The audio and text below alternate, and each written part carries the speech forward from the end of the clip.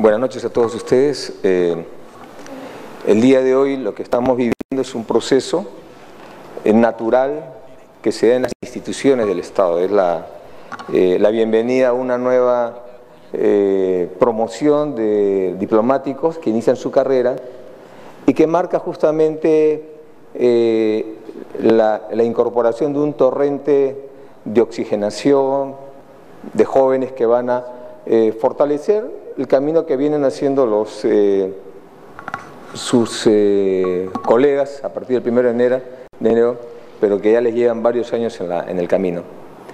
Y esto es parte de la permanencia que se da en el Estado de las instituciones de la República. Esto es parte de lo que constituye eh, la permanencia de un Estado y que además les auguramos una serie de de sacrificios, de trabajo, pero también de éxitos. Eh, la carrera diplomática es una carrera muy importante porque es la que eh, va a conducir la, política exterior del Perú en toda la comunidad internacional. Y cada día el mundo es más complejo. Tenemos un proceso de desaceleración de las economías a nivel mundial. Tenemos hoy día en las zonas del norte de África, Medio Oriente, en Europa, eh, la aparición del germen del terrorismo, que está eh, constituyéndose hoy día en una, eh, una amenaza a los estados. Tenemos hoy día también la convergencia o la creación, perdón, de nuevos bloques económicos comerciales en los cuales Perú va participando activamente, como es el Acuerdo Transpacífico, la, la Alianza del Pacífico, eh, y otros foros donde el Perú participa, como el foro APEC. Asimismo, eh, tenemos en la, región latinoamericana que el Perú va eh, participando en diferentes bloques regionales, hoy día tenemos UNASUR, y tenemos participación en las relaciones bilaterales con cada país. Hemos salido hace poco, con éxito, de un litigio fronterizo con Chile.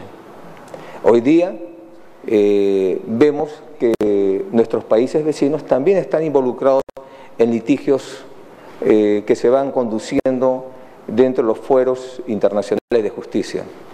Por lo tanto, es una obligación de los futuros diplomáticos estar al tanto de lo que está pasando y además de esto, eh, tomar conciencia de que a partir del 1 de enero dejan una etapa de estudiantes y empiezan a ser profesionales y por lo tanto se, les valorará de esa manera. Al puesto que vayan, a la repartición que vayan, eh, llevarán ustedes los conocimientos, las enseñanzas vertidas en la Academia Diplomática y aprenderán también de sus colegas eh, con más experiencia. Esto es parte de la profesión. Y quiero eh, señalar acá también mi reconocimiento al cuerpo diplomático que me ha podido eh, ayudar y asesorar en estos prácticamente casi cinco años de gobierno para tratar de conducir las eh, relaciones exteriores en las mejores condiciones. Hoy día el Perú viene asumiendo relaciones de carácter estratégico con diferentes países como Francia, Canadá, Corea, Rusia, eh, entre otros países.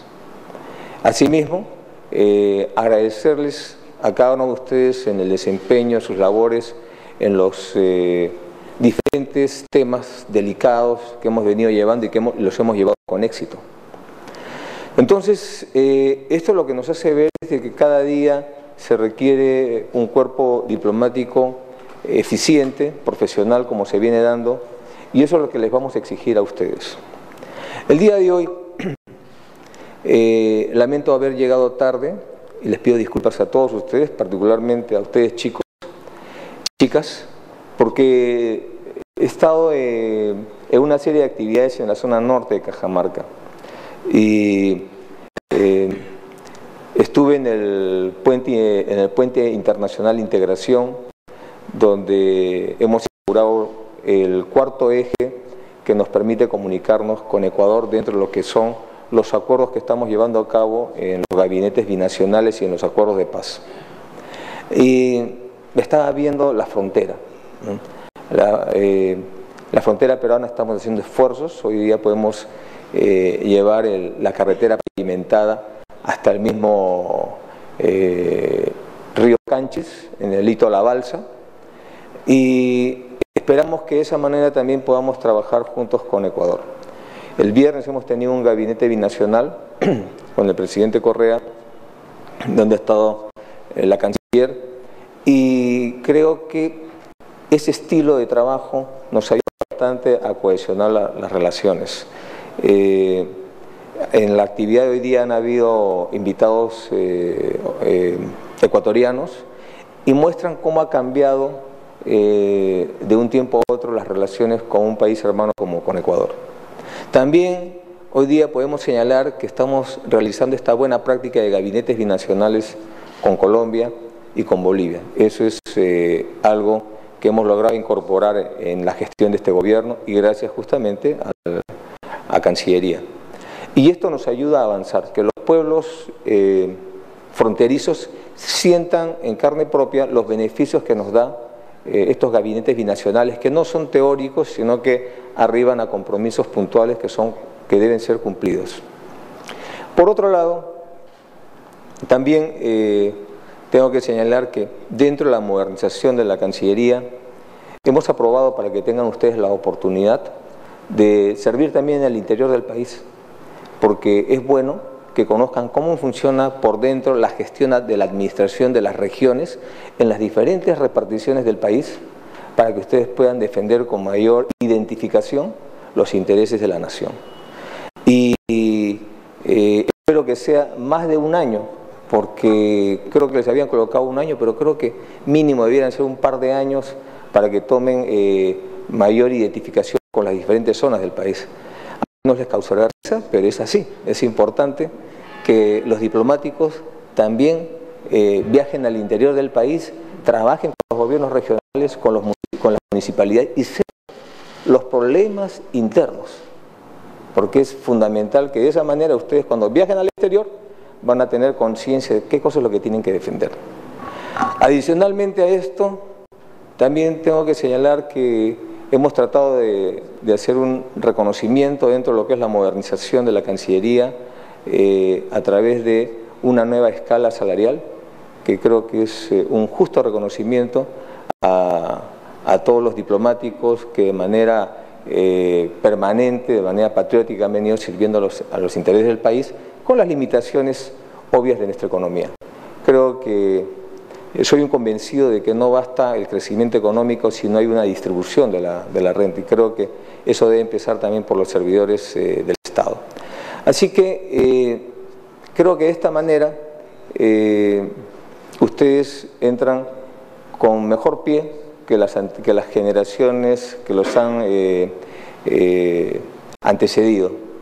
Pero en el plano eh, de padres, de madres, eh, quiero también saludar a, sus padres y sus madres porque creo que también es un esfuerzo, un sacrificio de parte de ellos para que ustedes puedan hoy día eh, graduarse exitosamente en una carrera que van a abrazar por lo menos hasta los 70 años. No sé cuántas décadas, serán cuatro o cinco décadas, en fin. pero eh, decirles también de que eh, es importante que en estos días que quedan todavía y que jurídicamente todavía son estudiantes, porque recién legalmente a partir del 1 de enero van a ser eh, incorporados al escalafón, que se cuiden en las fiestas de Navidad, Año Nuevo, el trago no es bueno, además a partir del 1 de enero ustedes van a salir cambiados probablemente, y sería bueno que pasen estos días con sus padres, con sus madres, y habrá tiempo para que se saluden entre los promocionales. Eh, son algunos consejos que yo doy eh, a los nuevos chicos que se gradúan como oficiales porque los veo como si fueran mis hijos. ¿no? Eh, recomendarles que hoy día se están casando con, con la Cancillería y ese es un matrimonio que va a durar por lo menos hasta los 70 años. Entonces, el otro matrimonio todavía déjenlo de lado les recomiendo, ya va a haber tiempo para que se casen, para que no sean vígamos, ¿no? Entonces, ahorita háganse profesionales, lean sus reglamentos, aprendan sus obligaciones eh, recuerden el juramento que han hecho y ya después, como dice el refrán, el matrimonio y la mortaja del cielo bajan. Entonces no se preocupen por eso, háganse buenos profesionales, es fundamental que dominen idiomas, no es posible comprender a un diplomático que no sepa idiomas, por lo menos uno adicional al castellano, y lo ideal es que a donde lleguen aprendan el idioma de ese país. Se los digo con la experiencia de haber eh, servido también en una misión diplomática en Francia y en Corea del Sur. Y que además eh, aprovechen su tiempo en las diferentes, a los diferentes lugares o misiones donde vayan a trabajar para que sigan capacitándose. La educación y el perfeccionamiento no tienen límites.